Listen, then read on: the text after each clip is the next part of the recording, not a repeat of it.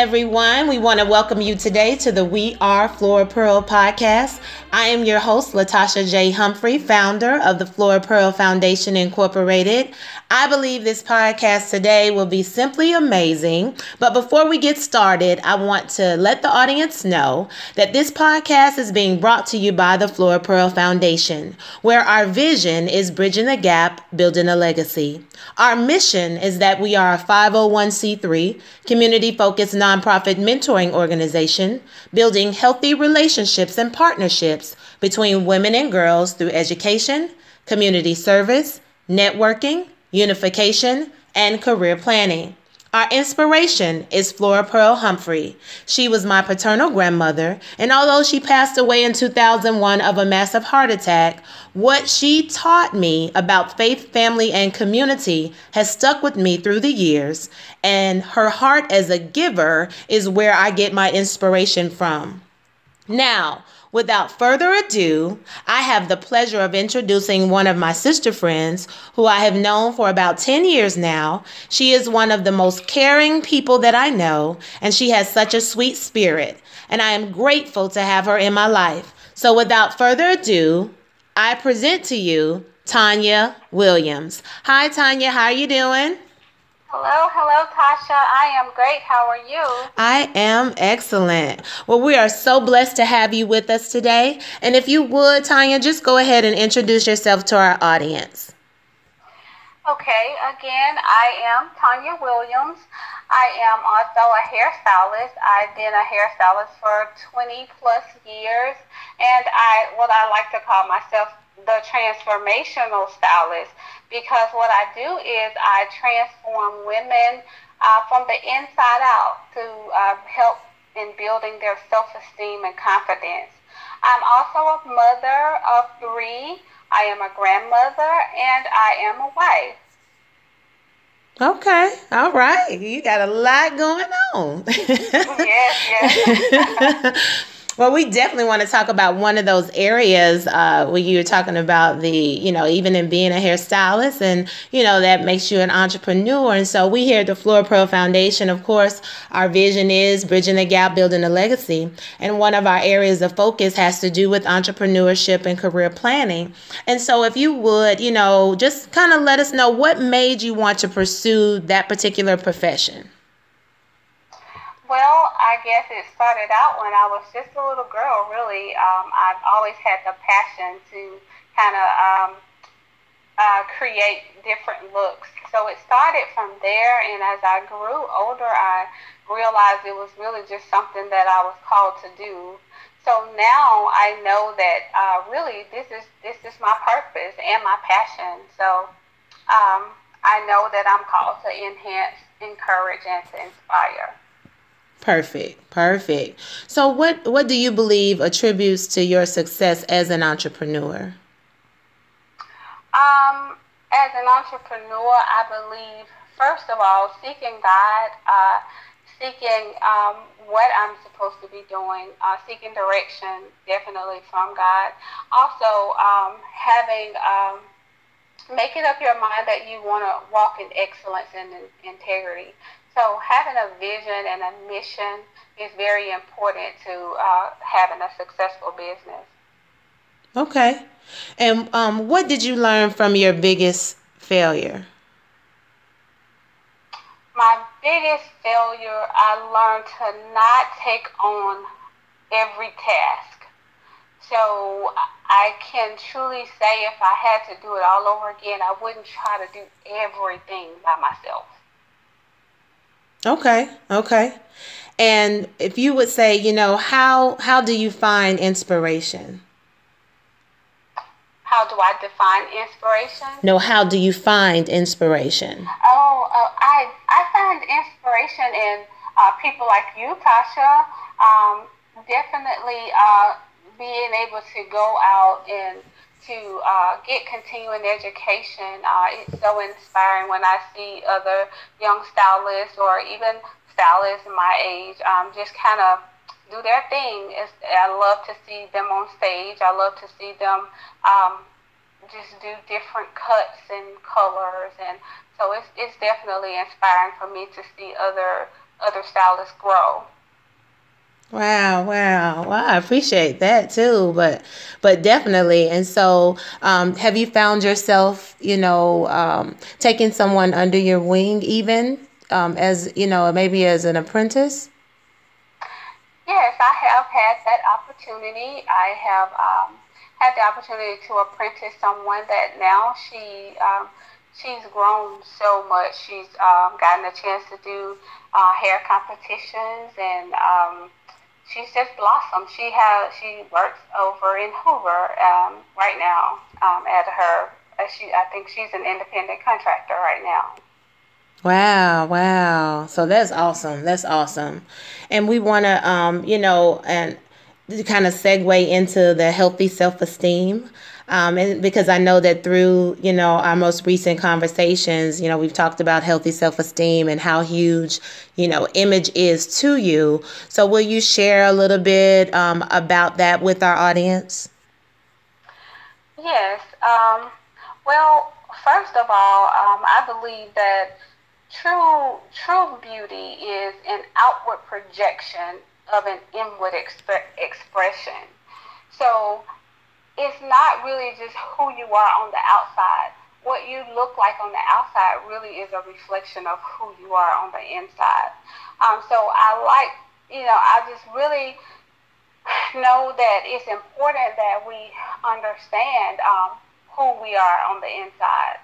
Um, so so many times people um, they're defined by what they look like on the outside. Mm-hmm. And you can be beautiful on the outside and be torn up on the inside. Right. Which that reflection, it your beauty just doesn't.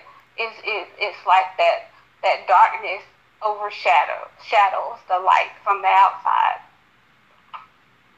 Right, right. And I, we know, you know, kind of in this day and time, you know, women and girls are constantly, you know, comparing themselves to one another. Not all, but, you know, quite a bit. And, you know, just comparing society standards to, to what they should be and kind of putting some unrealistic expectations on themselves. So, what, uh, you know, as it relates to what you were saying too, what is the message about inner beauty and self esteem that you would like to get out? Well, I'd like to say to our ladies and, you know, our young ladies to basically stop trying to fix yourself. You know, you're really not broken. Mm. you don't have to worry about what people think you are on, on the outside. Just be you. Don't, I, I say, um, you don't have to be apologetic for being who you are. It's, you know, the best thing, one of the best things that you can do for yourself is to be yourself. Right, right. And so even for you, how have you, you know, been able to you know, develop even the healthy self-esteem? Like what what did it take for you to get to this place?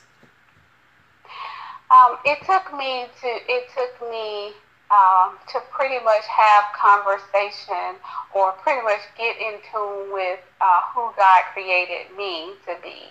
So um, one of the, I mean, the best the best people you can go to and talk to you about you is the one who created you. You know, mm. so I pretty much, you know, got myself focused in what was really important, and that was, you know, learning who I am. And I got in the scriptures, I got in the Word, and one of the things that the Word, um, the Word says is that everything God said, everything He created was very good. So I began began to realize, hey, that includes me. I'm right. very good. Yeah. So I stopped really. Um, I had to get to that place to where uh, people didn't matter as much as God. So once I realized that, then I could pretty much be myself, walk in what do, walk in and do what I'm called to do, without really worried about what somebody else thought or what somebody else felt. I um, I've had the opportunity to work with um, different in different areas in the beauty industry or what society calls the beauty industry, um, and sometimes things can be very, very chaotic. And if you don't know who you are, then you'll, if you don't stand for something, you'll fall for anything. And I just got tired of falling for anything. I got tired of, you know, just feeling like I didn't fit in. Once I discovered I don't supposed to fit in because I'm different. When God, when you understand that God created you to be extraordinary or to be peculiar, you'll understand that that's why you don't fit in. You don't have to fit in because you're different. God created you different. That's the uniqueness of God. Once I discovered that, then I was able to begin to start to walk in my confidence in who I am. And also to be able to speak who you are. Sometimes you have to just stand in the mirror and say, I am confident. I have healthy self-esteem. And the more you say that, the more you'll believe that, and the more you more you'll know that, and then you're able to walk in that. Right, right, right, and um, and so with that, you know, like you were saying, with uh, with being able to even you know stand and and you know realize who you are through the word and who created you um, what you know even with that what's kind of the message that um, you would share with someone to encourage them? The message that I would share with someone to encourage them is that um, God says that you're beautiful and wonderfully made. And uh, that means, you know, you are beautiful regardless. You're beautiful. You're more than just a pretty face, or you're more than just beautiful hair, or clothes or you you're just beautiful. And sometimes when you allow your your inner spirit to shine um, and be kind, you know, be loving, be caring. Uh, God says that He's given us a spirit of love and of power and of a sound mind. So it's it's when you understand who you are on the inside, it just reflects who your outer reflection it, just gonna take care of itself. Perfect. Perfect. Well, we want to, uh, you know, segue into the, you know, mother daughter um, bonds. And, you know, anyone who knows you can testify of how important your family is to you, you know, especially your relationship with your daughters. And so I, I wanted to know how important is it, in your opinion, for them to have strong support systems and even as well as yourself as a woman? Uh, I think it's very important to have strong support system. I think um, in having that, it helps to push you into. It helps you to. It helps to push you to your fullest potential. And I think you know when we um, know that someone else cares or someone else is is rooting for us, it, it helps us and, and, and you know it, it just gives us that added strength to be able to endure. Right, right. And you know, I um I was reading an article the other day and you know, it was talking about kind of questions that you could ask your mother, you know, or and or your daughter to to get to know her better and kind of know her heart. So I um I have a series of questions that I would like for you to answer. And um, I truly believe that your daughters would find your answers interesting as well as our audience. Uh, and it may even encourage more conversations like this among mothers and daughters and, and just women and girls as well. And so um, let's let's go ahead and get started if you don't mind. Okay. The first um, question is what's on your heart in this season of your life? It, in this season of my life, what is on my heart is to be sure that I leave a legacy for my my children and their children. Okay. And what do you dream about? Um, I um, I dream about um, empowering women, empowering women. That's really my mandate, and um, it's just it, I'm just so passionate and in, inspired by um, being that blessing to to uh, women. So right now, my dreams, my goals, my focus is to empower. Okay.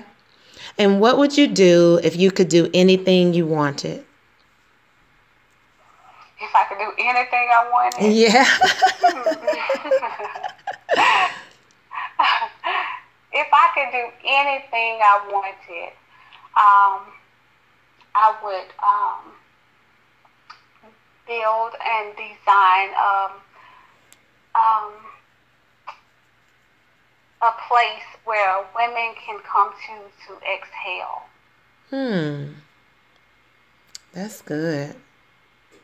Wow. Okay. And what kinds of things make you feel cared for? Um, the things that, um, oh my gosh, there are um, many things, especially when it comes to my family.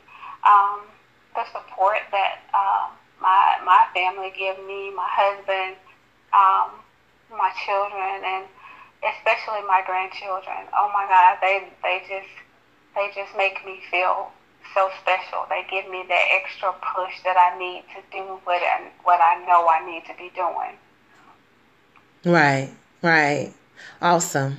And what is your favorite kind of food? My favorite kind of food, of course, is chicken. Fried, baked, does it matter? You know, my, one of my um, one of my favorite foods, seriously though, is um, calamari. Uh, I I am a seafood person. I am a chicken person, um, but I I um I think um, seafood is one of my favorites. Okay. And so, Tonya, what makes you happy? Mm. Um, what makes me happy is um, fulfilling that purpose that God called called me to do. Um, right now, I am living out a happy life because I, I see myself moving forward into just doing what God has called me to do. And I feel like just doing it, uh, making the decision to do it has made me happy. And also my family, um, my children, my husband, my grandchildren. Um, I, I just enjoy vacationing with them and just spending time with them. Um, whenever I get to spend time with my family, it, it truly makes me happy. Perfect. What kind of music makes you want to sing? Make me want to sing? Mm-hmm. Uh, can I say like Mary J. Just fine? yes. yes, love Mary J. About, uh, when I think about the things that I've gone through, you know, sometimes when you go through some things and you see how it's like, wow, you know, I never would have thought. First of all, you never thought you'd go through, and then to come through it, you know, it just makes you want to really sing praise, just being praised, being praising and thankful. You yeah. Know? But you know, people like Mary J. and Beyonce, and you know, they just sometimes it just inspire me. You know, you you see them dealing with that inner outer beauty thing, and to see people kind of overcome that, um, and they singing about it themselves, it makes me want to sing too. Yeah, yeah, that's awesome. And what what are those things that um, that make you upset? Things that make me upset. Um, me procrastinating.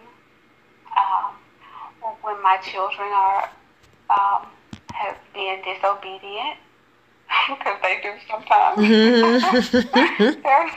they do sometimes do things that you know they, they know they don't shouldn't do. Mm-hmm. Um, but when I'm not on one accord with my family, um, that makes me upset. And when I'm not doing um, what I'm supposed to be doing, that also makes me upset. Okay. And where would you like to visit if you could go anywhere? Oh, girl, I'd love to go to Paris. Hmm. Okay. Anywhere in particular? I mean, I know you know France. there you go. I'd like to be on the Eiffel Tower. right, right, right. Okay, okay. All right. And what is your fondest memory? My fondest memory. Hmm.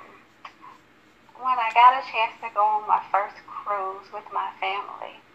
Um, it was very, I was very nervous at first, and then yet so it was so exciting um, to experience, um, to have that experience with them. So that's one of my fondest memories. Okay. And what makes you laugh? What makes me laugh? Um, when I see some other people happy, it makes me happy. Um, jokes make me laugh. My children are hilarious. They actually play this this big uh, so-called joke on me this morning, today, my oldest daughter, and they, they just keep me laughing. Um, that so they definitely they can be characters sometimes. Okay, what have you been thinking about lately? What I've been thinking about is being sure that I um, focus um, and um, as just as I've written today, that uh, and being consistent. Uh, I wrote down today, um, just like my pastor said, consistency is the key to the breakthrough. Mm-hmm. So lately, um, I've been really, really uh, focused on um, writing my vision and making it plain. Okay. Okay. And last on this segment, what sorts of things are important to you? What sorts of things are important to me? Um, again, I'd say um, fulfilling my destiny, my purpose, um, making sure that my children um, get get the best of me, the better of me, um, continuing to grow um, and understanding that you know it's you know it takes. I, I just don't despise small beginnings anymore. So there are many many things that's important, but um, my household, making sure my my husband, I you know be the woman I need to be for my husband, and be the mother I need to be for my children, and be the woman that I need to be for you know myself and for other women um, that's very important. Awesome. Well, you did great in that segment. Yay. well, we're going to segue to community service. If you would, you know, just share with our audience different ways that you serve the community or you serve the community. Okay. Um, well, I have um, I am a proud member of the Alpha Kappa Alpha Sorority Incorporated. So I've gotten a chance to do um, several community services with them, um, working with um, in the schools. I, I've gotten a chance to um, do different chores, assignments in the um, in the elementary schools. Um, I've also gotten opportunities to work with at my church. Um, gotten a chance to do different things, working with the homeless, uh, feeding the homeless, and um, many of the assignments like that. Um, so I, I have, um, I, I actually enjoy um, working in the community. Right, right. And, you know, that's one of our areas. So definitely always you know, like to know how um, any of our guests on the podcast are serving the community. Um, so thank you definitely for um, for sharing that. And I wanted to um, to move now into your faith, you know, and just if you would share a time when your faith has been tested and how you came through it in order to encourage someone in our audience. Um, yes, um, definitely um, I can um, attest to a time that my faith was, was tested, and that was in my marriage. Um, I, um, you know, we went through um, very, a very rocky period in, well, not just my marriage, in my household period. My my children, um, my I, my daughter, my middle daughter, she went through uh, some challenges of being a teenage parent, and then my my husband and I we were on the brinks of divorce, and um, definitely I knew I knew that God told me that you know we would be a, a um, witness pretty much to the world. We would be God would use our marriage and we would as a platform and we would be able to minister to other people and to help to you know have, for them to have um, good marriages to see that you know God can um, you can pretty much have a marriage made in heaven. But I was going it don't look like that you know my household is tearing apart. I was like Lord if, if you said you know that this is that we would be a light you know, how are we able to be a light? And so that very situation or those very situations, God turned him around and, um, you know, and he truly, um, he, he truly just, he changed things and, you know, he used that very, you know, some of the very situations actually to be a light to uh, many people who, who thought that, you know, they didn't have, they couldn't make it or their marriages wasn't going to make it, or their family wasn't going to make it, you know, um, or their their children wasn't going to be somebody. Um, it we were we've been able to minister, you know, right, just from our our situations, um, with us living out that example. Wow, that's awesome. That is awesome, Tonya. Wow. Very encouraging. Hmm. And um, we can uh, kind of get into our closing segment. And um, if you could speak to your four year old self, what would you say to her? I I say, Tonya, you are somebody. And don't ever let anybody tell you anything different. Okay, perfect. And the next one is who motivates you? Um, people like you motivate me, Tasha. You are a great motivator for me. You pushes me to to do some of those things that um, you know, it's like, okay, it's time. Um, I appreciate people like you. Um, my husband motivates me, and um, it also um, motivates me when I see a lot of our women today um, not knowing who they are, so they're compromising themselves um, because of something or whatever that is they're lacking on the inside.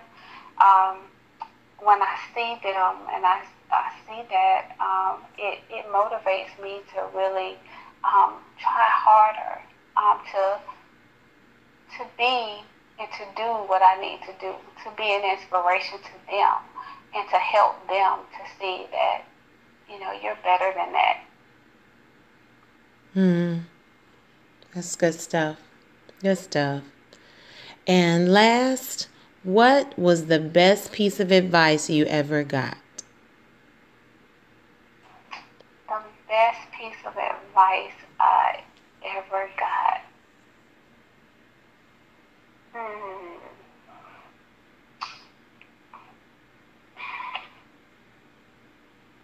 Let's see.